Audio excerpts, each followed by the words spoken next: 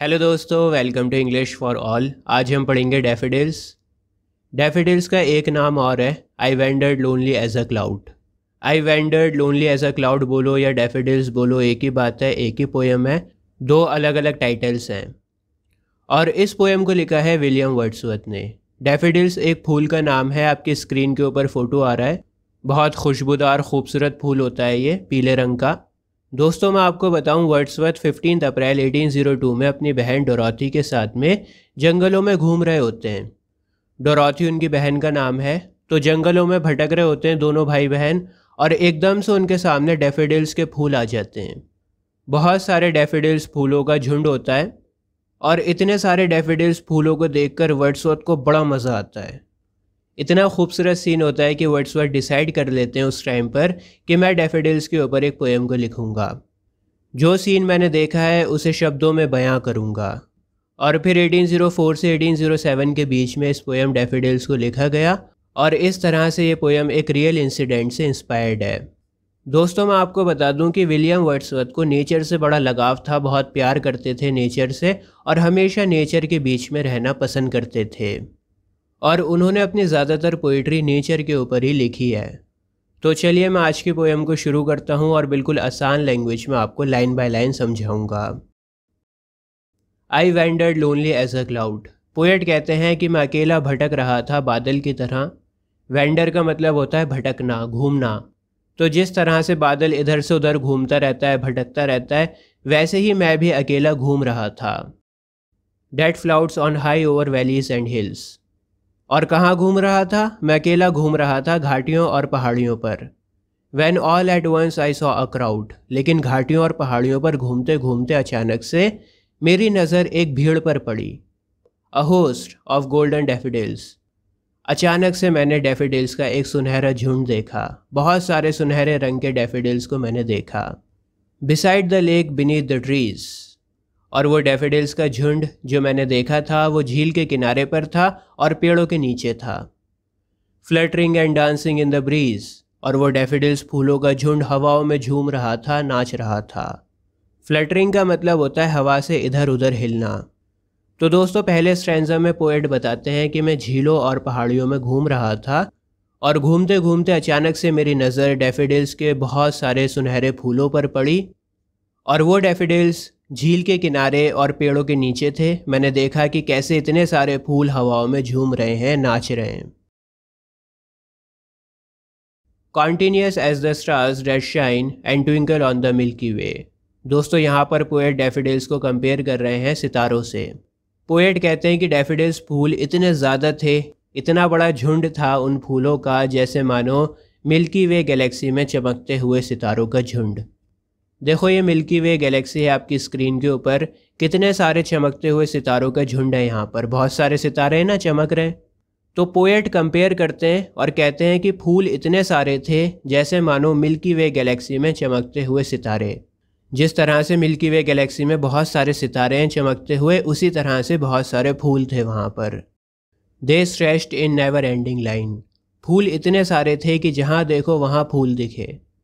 ऐसा लग रहा था कि इन फूलों की कतार कभी ख़त्म ही नहीं होगी। जहाँ देखो वहाँ फूल जितनी दूर नज़र जा रही थी, उतनी दूर फूल दिखाई दे रहे थे। Along the margin of a bay bay कहते हैं खाड़ी को। देखो जैसे अभी आपकी स्क्रीन के ऊपर आ रहा है, ये कहलाती है खाड़ी। और मार्जिन का मतलब होता है खाड़ी का जो बिल्कुल किनारे का एरिया होता है ना, जो बाउंड्री होती है, उसको कहते हैं मार्जिन तो कह रहे हैं कि ये जो डैफिडिल्स के फूल हैं, खाड़ी के बिल्कुल किनारे पर भी उगे हुए थे। मतलब कोई ऐसी जगह नहीं बची जहाँ पर ये फूल ना हो। खाड़ी का जो किनारा होता है, जहाँ पर ज़मीन ख़त्म हो रही होती है, उस किनारे पर भी ये फूल उगे हुए थे। टेन थाउज़ेंड सौ आई एड अ ग्लांस। एक झलक जो मैंने देखी फूलों की, उस एक झलक में ही मुझे दस हज़ार फूल दिख गए होंगे। एक अंदाज़ा लगा रहे हैं कि जब मेरी पहली नज़र गई उन फूलों पर तो पहली ही नज़र में मैंने दस हज़ार के करीब फूलों को देख लिया होगा। Tossing their heads in sprightly dance sprightly का मतलब यहाँ पर है जोशीला, फुर्तीला एनर्जी से भरा हुआ। तो कहते हैं कि वो डेफिडिल्स के फूल खुशी से अपने सरों को इधर से उधर पटक रहे थे, जैसे मानो वो डांस कर रहे हों। तो दोस्तों, दूसरे स्ट्रेंजा में बता रहे हैं कि फूल बहुत ज़्यादा थे, जैसे मानो मिल्की वे गैलेक्सी में सितारे चमक रहे हों। जहाँ कहीं भी मैं देख पा रहा था, वहाँ पर मुझे फूल दिखाई दे रहे थे। ऐसा लग रहा था कि फूलों की कतार कहीं भी जाकर ख़त्म नहीं होगी। यहाँ तक कि खाड़ी के किनारे पर भी फूल उगे हुए थे। सब जगह फूल ही फूल थे। और मैंने जब पहली बार फूलों को देखा तो पहली ही नज़र में मैंने दस हज़ार के करीब फूलों को देखा होगा। ये फूल इधर से उधर हिल रहे थे, जैसे मानो डांस कर रहे हों। The waves beside them danced और डेफिडिल्स के पास में जो झील थी, वहाँ की जो लहरें थीं, वो जो लहरें थीं, वो भी नाच रही थीं। But they outdid the sparkling waves in glee लहरें नाच तो रही थीं, लेकिन इतना बढ़िया नहीं नाच रही थीं, जितना बढ़िया डेफिडल्स के फूल नाच रहे थे।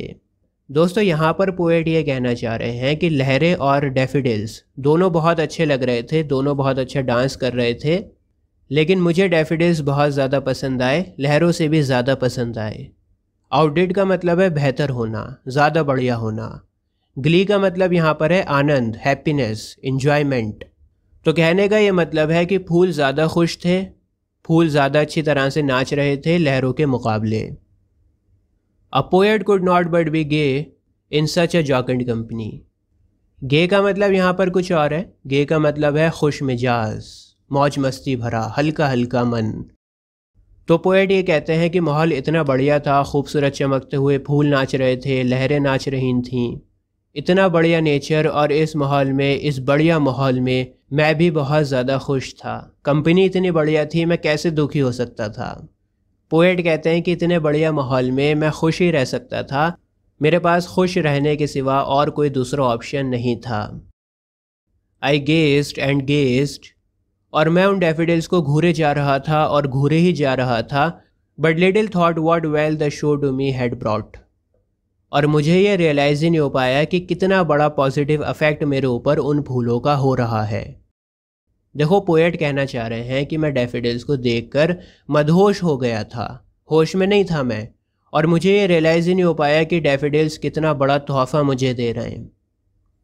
मैं ये रियलाइज़ ही नहीं कर पा रहा था कि कितना ज़्यादा पॉजिटिव अफेक्ट मेरे ऊपर उन फूलों का हो रहा है।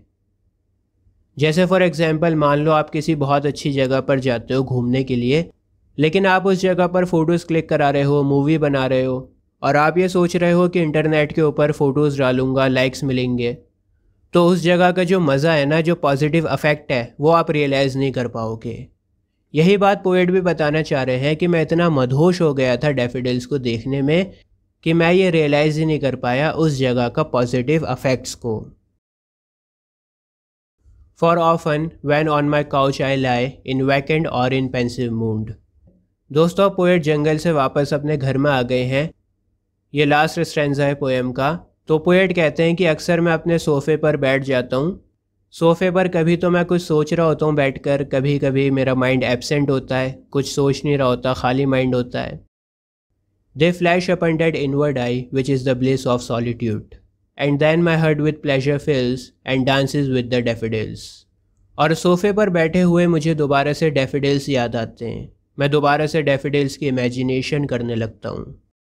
सॉलिट्यूड में अकेलेपन में क्या होता है? बहुत बढ़िया इमेजिनेशन करते हो। जो आप सोचना चाहते हो आपकी आँखों के सामने आ जाता है।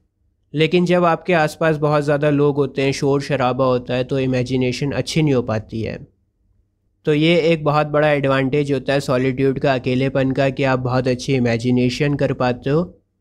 तो पोएट कहते हैं कि मैं अकेला बैठा बड़ी अच्छी तरह से डेफिडल्स को इमेजिन करता हूँ, और वो डेफिडल्स मेरे अंदर दोबारा से खुशियाँ भर देते हैं। और उन नाचते हुए डेफिडल्स के साथ में मेरा मन भी नाचने लगता है। मतलब बताना चाह रहे हैं कि आज भी जब मुझे डेफिडल्स याद आते हैं तो मैं बहुत खुश हो जाता हूँ और उन यादों को मैं भुला नहीं पाया हूँ। उम्मीद है दोस्तों, आपको ये पोएम समझ में आई होगी। कोशिश करिए आसान से आसान लैंग्वेज में समझाने की। अपने सभी दोस्तों के साथ में हमारी वीडियोस को शेयर करें। पढ़ेगा भारत, तभी तो बढ़ेगा भारत। आज के लिए बस इतना ही। जय हिंद।